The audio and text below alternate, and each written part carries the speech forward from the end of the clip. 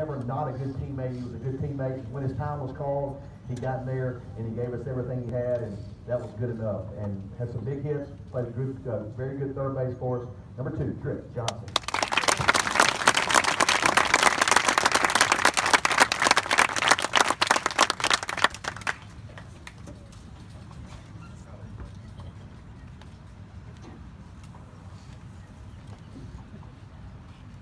Not sure his best game ever was down at Grissom.